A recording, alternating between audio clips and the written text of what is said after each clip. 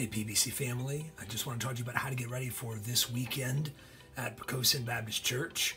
Uh, first of all, I want to remind you that this Friday night at 6.30, we will be having a Good Friday communion service. Uh, we'll be meeting in the PBC chapel, and uh, this is a, a really powerful service. It's an opportunity for us to gather as God's people, to sing praises to our crucified Lord, uh, to hear from God's word and to take communion, communion together as a church family. So if you're able to join us this Friday night at 6:30, we'd love to welcome you and to celebrate uh, the death of Christ in our place together with you this Friday night at 6:30. Then uh, this Sunday is Resurrection Sunday.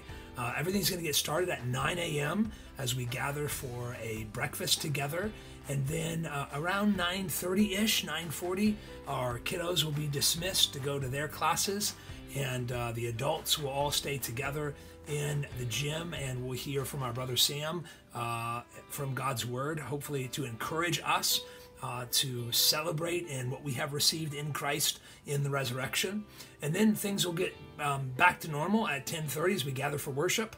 And this Sunday we're going to be hearing from 1 Corinthians chapter 15 verses 12 to 20. And I want to share with you about why God's people, those who have put their faith in the risen Christ, are of all people on the planet most to be envied because Jesus really has risen. Uh, I can't wait to share this with you, and I hope that uh, it will be an encouragement to those of you who are followers of Jesus. And if you invite friends or family that don't know Christ, it will be, I hope, an encouragement to them to consider the claims of Christ and put their faith in Him and Him alone.